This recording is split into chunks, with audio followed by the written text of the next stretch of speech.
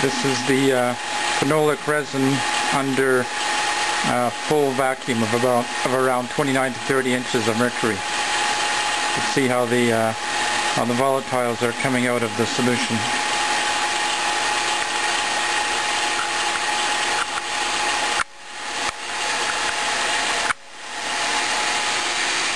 There's the uh, vacuum pump.